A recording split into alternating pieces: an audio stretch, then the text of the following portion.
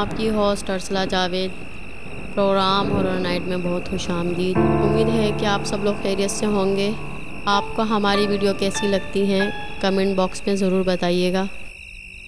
ये वाक़ जिन्होंने हमें भेजा है, वो बताते हैं कि मेरा ताल्लुक़ मुजफ़्फ़राबाद से है। ये वाक़ मेरे साथ उस वक्त पेश आया जब मेरी उम्र 18 से 20 साल थी। और मुझे क्रिकेट खेलने का बेहद शौक़ था। एक मर्तबा मैं रात को अपने दोस्तों के साथ क्रिकेट मैच खेलकर वापस आ रहा था। रात के ढाई से तीन बजे का टाइम था। चाँद अपनी पूरी आबोताब के साथ चमक रहा था। बहुत ज़्यादा अंधेरा होने की वजह से मुझे ठीक से नज़र भी नहीं आ रहा था। ये सर्दियों के दिन थे। मैं रास्ते में चल रहा था और अपने घर की तरफ़ जा रहा था कि रास्ते में मुझे अपने एक दोस्त का घर नज़र आया। तो मैंने सोचा कि मैं उससे मिलता चलूँ। मैं उससे मिलने के लिए गया तो वो गेट के बाहर ही बैठा हुआ था। मैंने उससे सलाम दुआ की। कुछ देर बातें करने के बाद अपने घर की तरफ़ आगे बढ़ गया।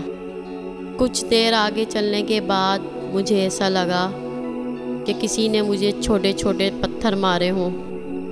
मैंने इस बात को नज़रअंदाज कर दिया, क्योंकि मेरे अलावा वहाँ पर कोई भी नहीं था।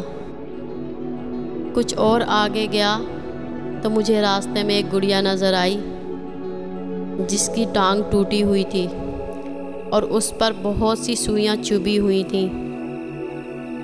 मैं डर गया, और मेरा दिल तेज़ी से धड़कने लगा। मैं भागने के अंदाज में तेज़ तेज़ चलने लगा और जल्दी जल्दी उस रास्ते से आगे बढ़ने लगा। फिर से मुझे पत्थर लगने लगे। ये कंकरियों की तरह छोटे बड़े कंकर थे। मैं तेज़ी से भागने लगा। आधी रात का टाइम होने की वजह से सड़क खाली और सुनसान थी। मैं तेज़ी से भागने लगा। मैच को जल्दी जल्दी ख़त्म करने के बावजूद भी मुझे आधी रात हो गई थी। भागते भागते जब थोड़ा आगे पहुँचा तो ये देखकर मेरे ओसान ख़ता हो गए कि वो गुड़िया जिसे मैं काफ़ी पीछे छोड़ आया था, फिर से मेरे सामने सड़क पर पड़ी हुई थी। और जब मैंने इस गुड़िया को गौर से देखा तो इसके जिस्म से खून बह रहा था।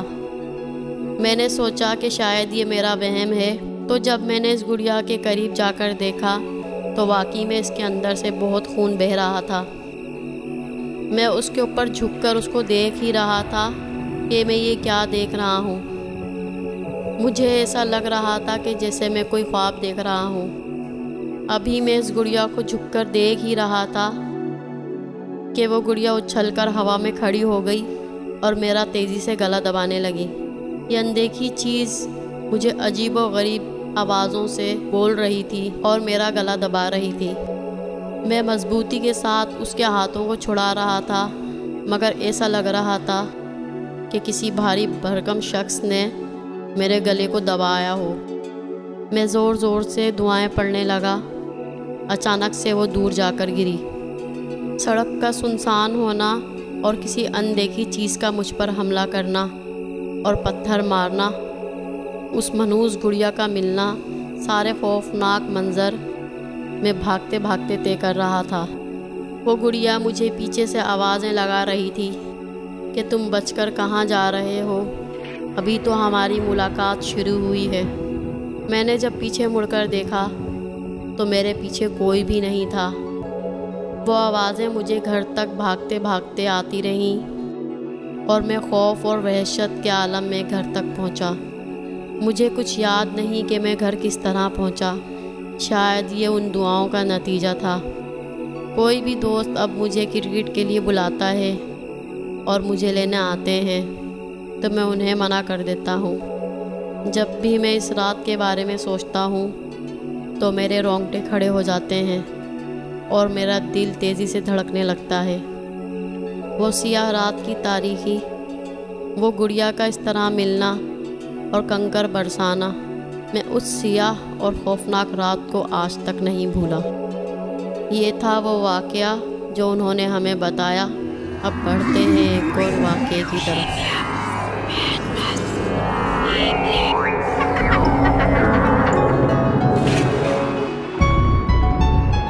ये वाक़ जो मैं आपको बताने जा रहा हूँ, ये हमारे गाँव का वाक़ है। जहाँ मैं रहता हूँ, वहाँ पर एक हवेली नज़र आती थी। देखने में यह हवेली किसी महल से कम नहीं थी। इस हवेली के मालिक ने बड़ी मेहनत से ये हवेली बनवाई थी। उसने चारों तरफ़ दरख्त भी लगवाए थे। मगर हैरत की बात ये थी कि इन दरख्तों पर ना तो कोई फल उगता था और ना ही पत्ते नज़र आते थे। हवेली के पीछे की तरफ़ जो खूबसूरत खेत थे, वो भी उसी के ही थे। जितने भी किसान थे, सबसे अच्छी फ़सल उसी की होती थी। क्योंकि वह दूसरे किसानों के मुकाबले में बहुत ज़्यादा मेहनत करता था। वहाँ पर एक और आदमी रहा करता था, जो बहुत ालिम और लालची था। उसने जैसे ही हवेली के बारे में सुना तो उसे हासिल करने की कोशिश शुरू कर दी। अगले ही दिन उसने उस हवेली के शख्स को अपने पास बुलाया और कहने लगा कि तुम एक किसान हो और तुम्हें भी दूसरे किसानों की तरह कच्चे पक्के मकान में रहना चाहिए। इतनी शानदार हवेली तुम्हारी हैसियत से बहुत ज़्यादा है। उसने जब ये सुना तो कहा कि मैं एक किसान ही नहीं, बल्कि एक ज़मींदार भी हूँ। और बचपन से लेकर अब तक मैंने इस ज़मीन पर अपना खून पसीने की तरह बहाया है। और अगर मैंने अपने खून पसीने की कमाई से यह हवेली बनवा ली तो क्या बुराई है? वो आदमी बहुत गुस्से में आ गया। और कहने लगा कि तुम तो बहुत बदतमीज़ हो। उस हवेली वाले शख्स ने कहा कि सरकार, मैंने तो सच बात की है। इस पर वो लालची गुस्से में आ गया और कहने लगा कि अब तुम इस हवेली में नहीं रह सकते। हवेली वाला किसान बोला, आपके वालिद साहब क्या करते थे? एक लोहार ही तो थे। पूरे दिन लोहे को गर्म करते और शाम को चार पैसे कमा कर लाते थे। इन पैसों में घर का खर्च भी चलाते। और आपको तालीम भी दिलाते थे। तालीम हासिल करके आप वज़ीर बन गए। अब आप ये बताइए, क्या आप वज़ीर क्यों बन गए? जाइए, आप भी जाकर अपने बाप का पेशा अख्तियार कर लें। ये सुनकर वो लालची शख्स आग बगूला हो गया और कहने लगा कि तुम मेरे साथ बदतमीज़ी कर रहे हो। इसका अंजाम बहुत बुरा होगा। कि सच बात करना कोई बदतमीज़ी नहीं। जब आप तालीम हासिल करके वज़ीर बन सकते हैं तो क्या मैं मेहनत मजदूरी करके एक हवेली नहीं बनवा सकता? आपको इस पर क्यों एतराज़ है? उस लालची शख्स ने उसको धक्के देकर घर से बाहर निकलवा दिया। काफ़ी दिन गुजरने के बाद एक लड़के ने सरदार को खबर दी कि शहर से बाहर एक राहगीर को किसी ने कत्ल कर दिया है और इसकी लाश झाड़ियों में पड़ी है। ये सुनते ही उसने इस लड़के से कहा कि तुम इस लाश को फ़ौर उठाओ और उस हवेली वाले शख्स के खेतों में डालकर एक खंजर भी उसके पास ही रख देना। इसके लिए मैं तुम्हें एक इनाम भी दूँगा और तुम्हें तरक्की भी मिलेगी। उस लड़के ने वैसा ही किया जो सरदार ने कहा था। हवेली वाला शख्स अपने खेतों में काम कर रहा था। उसको एक लाश नज़र आई और वो परेशान हो गया। वो समझा किसी बेरहम शख्स ने इसे कत्ल किया है। थोड़ी ही देर में कुछ लोग जमा हो गए और गाँव के एक चौधरी के पास उसको पकड़ के ले गए। चौधरी ने जब सुना कि उसने किसी को कत्ल कर दिया है तो उसने वज़ीर को बुलाया और कहा कि लाश को यहाँ पर लेकर आओ। हवेली का शख्स मुसलसल रो रहा था कि मैं बेगुनाह हूँ और मैंने किसी का कत्ल नहीं किया। हवेली के शख्स ने बहुत यकीन दिलाने की कोशिश की, मगर उसकी किसी ने भी ना सुनी। इस गाँव का कानून बहुत सख्त था। वो लालची शख्स उसको देखकर मुस्कुरा रहा था।